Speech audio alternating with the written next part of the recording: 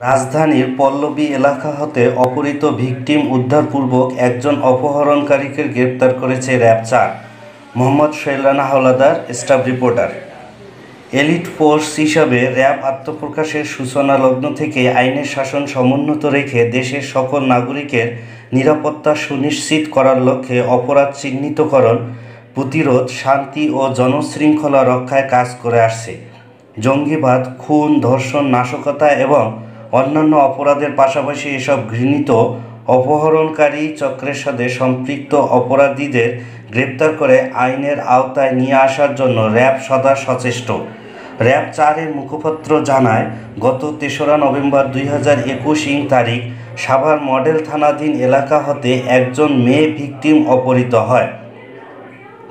প্রাপ্ত অভিযোগের ভিত্তিতে র্যাব চারের একটি গোয়েন্দা দল ভিকটিমকে উদ্ধার এবং অপহরণকারীকে গ্রেপ্তারে ছায়া তদন্ত শুরু করে।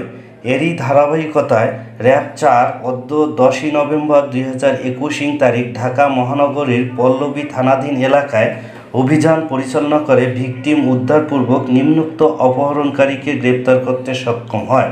অপহরণকারীর নাম মোহাম্মদ আলামিন, বয়স একুশ, জেলা ঢাকা।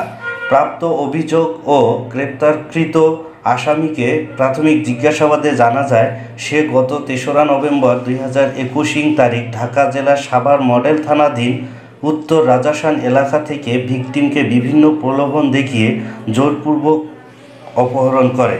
পরবর্তীতে আসামি রাজধানীর পল্লবী এলাকায় নানার বাসায় আটকিয়ে রেখে গত তেসরা নভেম্বর হতে নয়ই নভেম্বর দুই হাজার একুশ ইং তারিখ পর্যন্ত ভিকটিমকে বিভিন্ন ধরনের ভয়ভীতি প্রদর্শন করে এবং তার ইচ্ছার বিরুদ্ধে জোরপূর্বক একাধিকবার ধর্ষণ করেছে।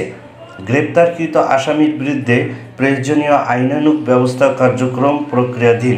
এই ধরনের অপহরণকারীর বিরুদ্ধে র্যাবের জোরালো অভিযান অব্যাহত থাকবে।